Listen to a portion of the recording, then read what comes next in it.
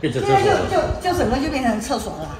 来到云林虎尾建国眷村，过去是民众婚丧喜庆集会的活动中心，如今却被新建成厕所，民众看了心好痛。难道眷村文化资产就这样被丢进茅坑了吗？你文化资产就保存文化资产的那个价值嘛，它以前留下来的那个价值，你把它变成厕所的话，那文文文不对题啊。回忆变了调，让住过眷村的民众大叹：如今的建设文不对题，不止活动中心被改建成厕所，就连日军水塔也被施工打洞破坏。这个水塔它如果今天有要，就是有被破坏了啊，那应该也是在我们做过文史调查，确定它的正确的就原始的用途功能以后，哎，大家在讨论。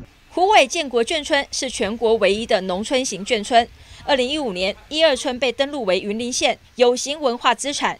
然而，今年年初动工的二村景观工程却被协会质疑，工程师做前没有完成文资调查。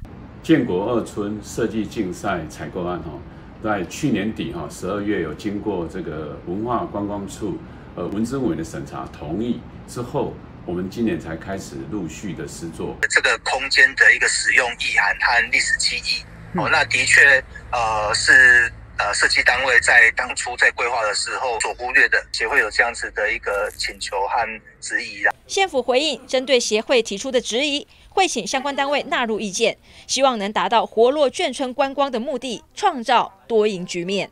民事新闻蔡松林，云林报道。